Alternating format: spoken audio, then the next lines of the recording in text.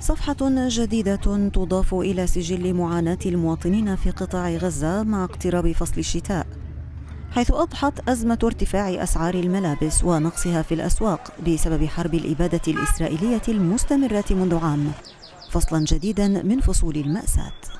أزمة الملابس تتفاقم على النازحين والمشردين في الخيام ومراكز الإيواء الذين أجبرهم الاحتلال على ترك منازلهم تحت القصف وسط عدم قدرتهم على اصطحاب أمتعتهم.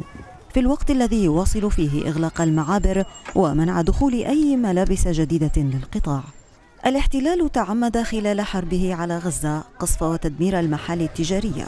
الأمر الذي فقم من أزمة الملابس إضافة إلى أن الملابس المستعملة باتت تباع بأسعار مرتفعة ما تسبب في مضاعفة أسعارها على المستهلك الذي يعاني تدهورا اقتصاديا صعبا منذ بداية الحرب.